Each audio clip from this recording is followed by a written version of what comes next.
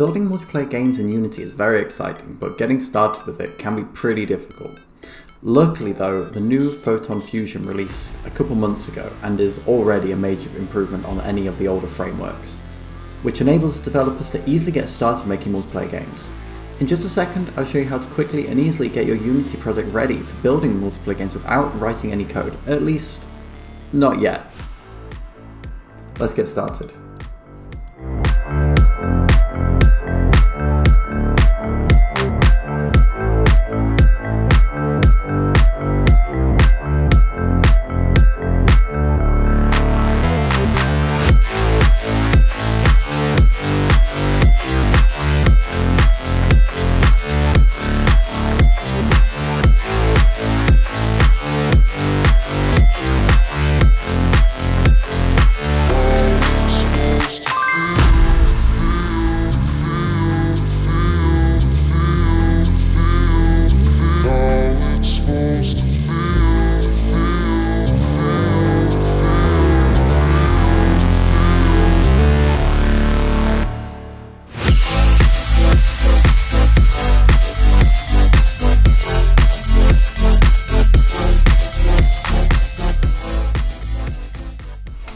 As you can see, that was pretty fast.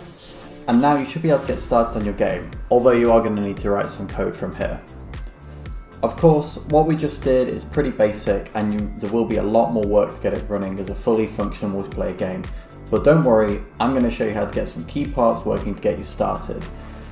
I'll get those done in the next few videos and I'll show you how to get your players connected, how to use custom models, custom avatars, as well as how to bring in different objects that the players can use and interact with.